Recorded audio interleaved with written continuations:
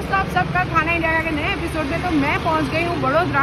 और वडोदरा आकर दूली राम जी के पेंडे नहीं ट्राई किए तो क्या खाया?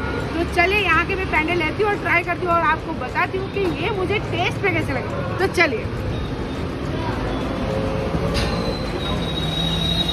बड़ोड़ा में शायद ही कोई ऐसा व्यक्ति होगा जिन्होंने दुलीराम जी के पेंडे ट्राई नहीं किए होंगे। 1862 में मथुरा से आए थे दो शर्मा बंधु। और मथुरा का वही पेंडा यहाँ पे बेचने के लिए खोली उन्होंने दुकान।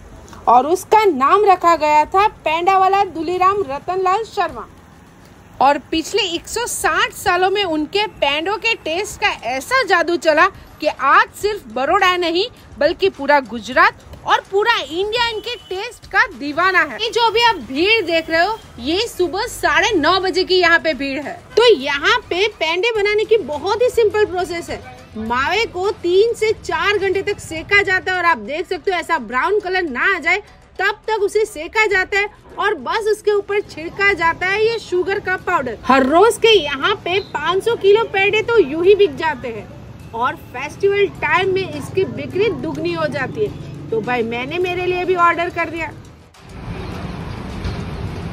ये वडोदरा की सबसे पुरानी शॉप मिठाई की है, उसका पेंडा मेरे हाथ में आ गया, आप देख सकते हो ये पेंडा तो मैं इसे आपको ट्राई करके बताती हूँ कि भाई टेस्ट में से ये कैसा है।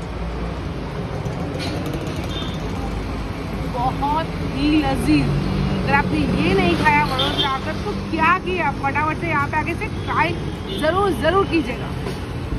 और ऐसे ही खाने का अलग अलग और यूनिक वीडियोस को देखने के लिए खाना इंडिया का पेज को फेसबुक पर लाइक कर लीजिए यूट्यूब पर सब्सक्राइब कर लीजिए और अभी तक आपने इंस्टाग्राम पर फॉलो नहीं किया है तो फटाफट से फॉलो कर लीजिए।